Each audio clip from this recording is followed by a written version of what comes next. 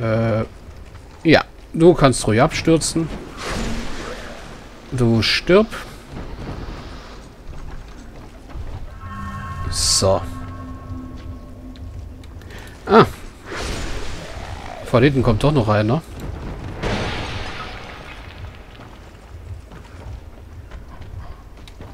Und da ist ein Hund. Wow.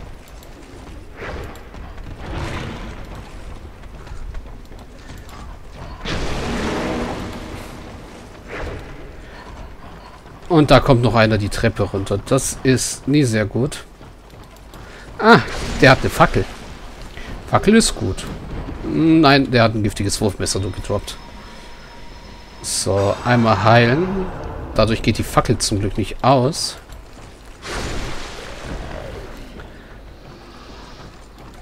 Ich will erstmal dich loswerden.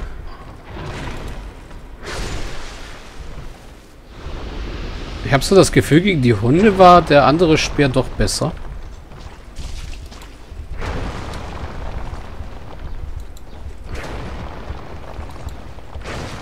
Und wir sind vergiftet. Und hinter uns ist einer. Äh, giftiges Moos. So. Dann gucken wir mal kurz, wo wir gelandet sind. Hier könnten wir hochklettern.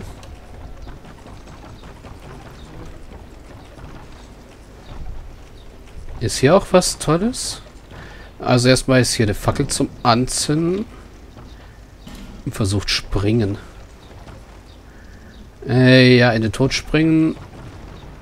Nicht sehr gerne. Ja, hier sind wir oben auf der Brücke. Die Brücke führt allerdings weiter. Das kann ich jetzt schon mal sagen. Wir müssten eigentlich erstmal da drüben irgendwie hinkommen.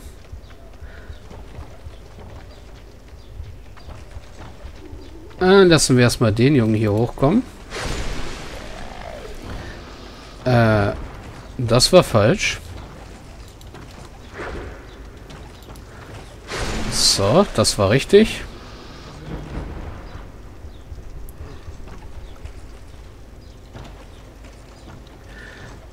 So, ein bisschen Orientierung brauche ich jetzt. Äh, klettern wir mal hier hoch.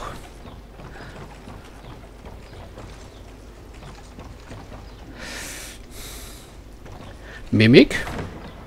Keine Mimik. Nur drei schwarze Feuerbomben. Oh. Giftspucker. Hier können wir uns einfach runterfallen lassen. Das spart ein bisschen Zeit.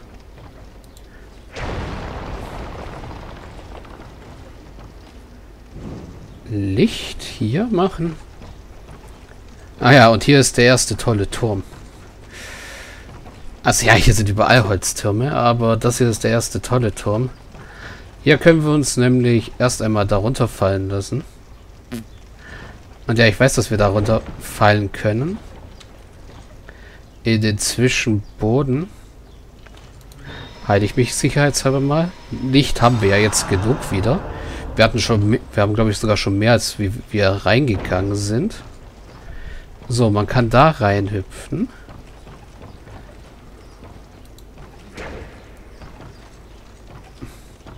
Man kann aber auch erstmal hier rumgehen. Hier anzünden. Titanitbrocken aufsammeln. Das ist immer schön. Die Quanst, ja. Ja, wir sind zu dick, um da durchzupassen.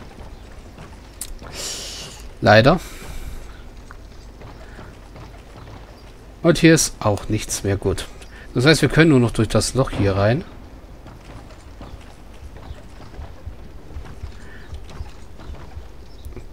Hier ist nichts Besonderes. Hier hängt übrigens der mieseste Spucker überhaupt. Den wir nämlich nicht so erreichen können. Und hier müssten wir irgendwo dann durchbrechen können. Oder auch nicht. Ne, wir können nur darüber jumpen und hey. Da ist er übrigens. Der Heidritter mit der Eisenmaske. Ah, das wird jetzt lustig.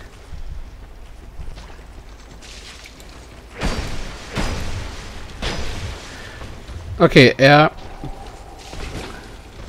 hält nicht so viel aus.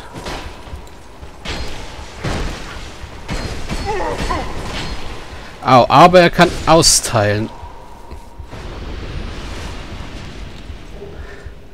Heideritter Eisenmaske und die Heidelanze. Lanzen sind übrigens Stangenwaffen für Stärkecharaktere. Falls ich das noch nie erwähnt hatte.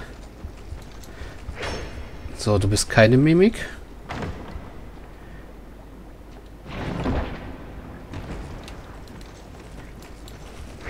Du bist mutig. Übrigens ist das hier eine sehr gemeine Leiter. Jedenfalls war sie das in... Ah, hier ist das richtige Aurorus-Set. Ich habe euch ja schon mal das Durchsichtige gezeigt. Jetzt haben wir das Richtige gefunden. Diese Leiter ist übrigens sehr gemein. Mal gucken, ob sie es jetzt immer noch ist.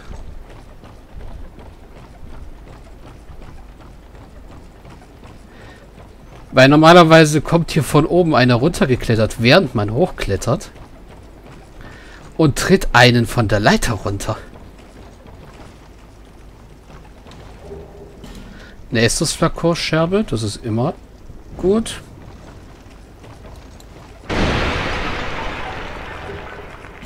Und ja, für alle, die es nicht glauben wollen, wir hatten gerade mal kurzzeitig festen Boden unter den Füßen. Yay. So, Banditengroßaxt. Da warst du. Da können wir doch hochklettern.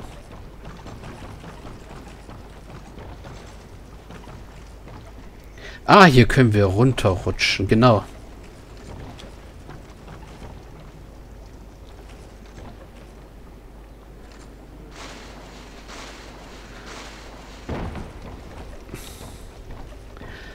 So, und wo landen wir?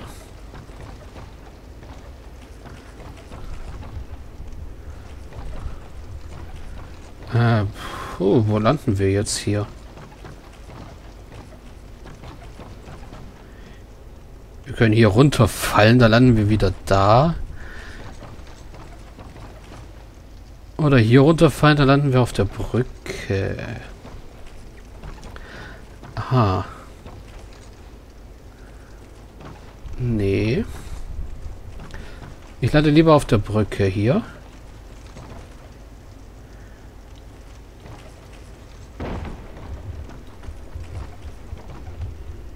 So, jetzt lassen wir erstmal den zu uns kommen. Wow. Ah, genau der da macht mir Probleme. Schnell was trinken. Und dann geht es erstmal hier zurück. Ja, gut. Ah, versucht's mit Springen. Stimmt eigentlich auch.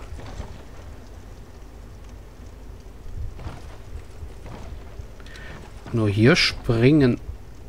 Ob das was bringt? Ja doch, man müsste rüberkommen. Versuchen wir es einfach mal. Geronimo.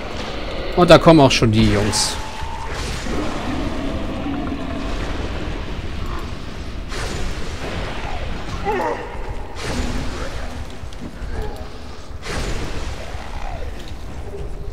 So, giftiges Wurfmesser. Nochmal ein giftiges Wurfmesser. Das sind übrigens Öl. Lachen. In denen sich diese Greifhände da verstecken, die wir gerade gesehen haben. Über die Öllachen können wir einfach drüber rollen. Mit der Fackel, um sie in Brand zu setzen.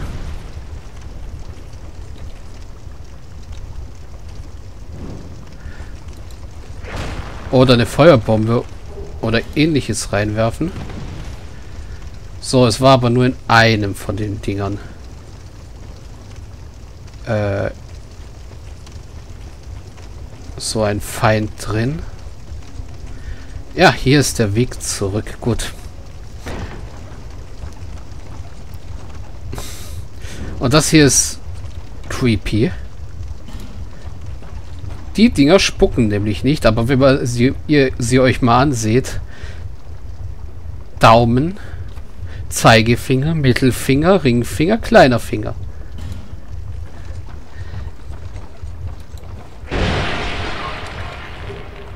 So, ein Lebensstein. Gut, jetzt gehen wir mal ganz kurz ein Stück weit. Nein, wir brechen nicht da wieder runter. Den regulären Weg. Also hier lang, hier lang. Hier sind übrigens auch noch solche Steine, die wir aus dem Weg räumen können. Der hier spuckt nämlich uns hier oben an. Das ist auch garstig. So. Und so. Und nee, hier können wir nicht lang.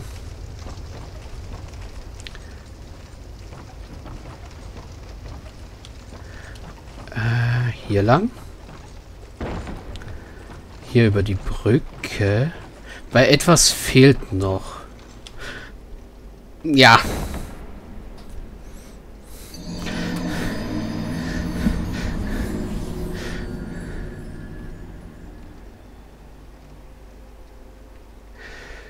Dass ich dann nochmal runterfalle und sterbe, das fehlte noch. Nee. Bring ich bitte nach Majula zurück. Dann tauschen wir jetzt schnell die eine Scherbe ein. Gucken uns mal kurz den Loot an, den wir gemacht haben. Sortieren ihn weg. Ja, ich möchte den Estus-Flakon verstärken. So, dann sind wir schon mal auf 9. Und dann gucken wir uns mal kurz am Leuchtfeuer die Sachen an, die wir so gefunden haben. Also erstmal, was wir so wegsortieren können. Seidige Steine, die können wir nachher bei den Krähen eintauschen. Dumm, dumm, dumm. Hier kann nichts weg.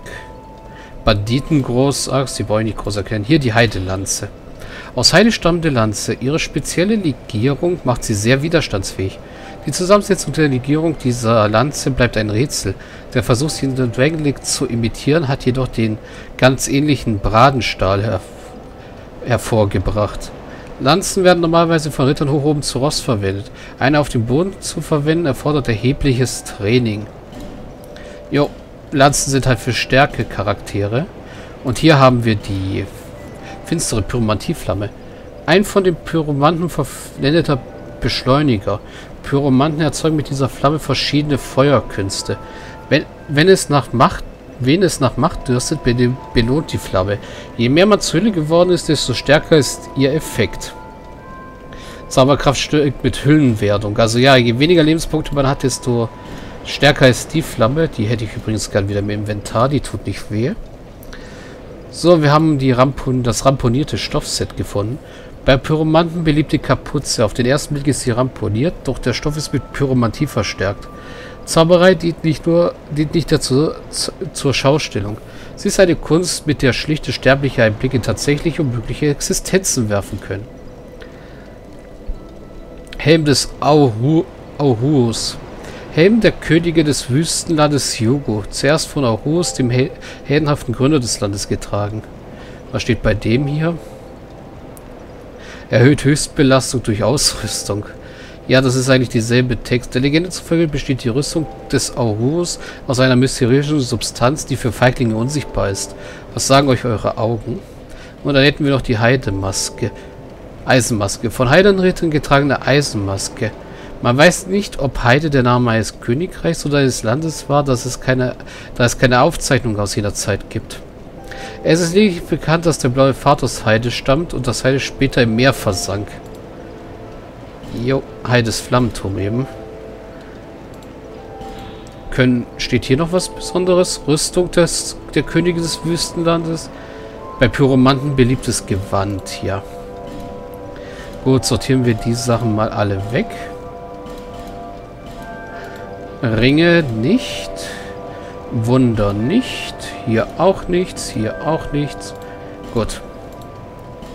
Dann würde ich sagen, bevor wir im Loch weitermachen und noch ein paar Mal runterfallen, mache ich erstmal wieder einen Cut. Wir haben ja ein bisschen was geschafft. Wir haben sogar einmal Koop geschafft. in der Viertelstunde. Mal sehen, was wir das nächste Mal schaffen. Also, bis dann.